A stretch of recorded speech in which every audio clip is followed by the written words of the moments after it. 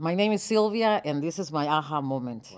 I had always wanted to become an actress and singer, and it was something that a lot of people discouraged me about because they thought it was a very impractical career. And after thinking about many choices that were given to me, I decided that I was going to just concentrate in acting classes at City College. And I did that as a part time student. I was older than the rest of the people in my class. And so it was also kind of lonely, but I still kept on doing what I wanted to do.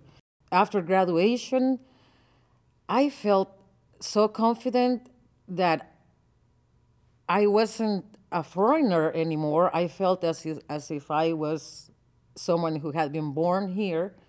Now I feel like I can conquer anything as long as I work hard for it, and is something that um, gives me not only hope but also a lot of optimism.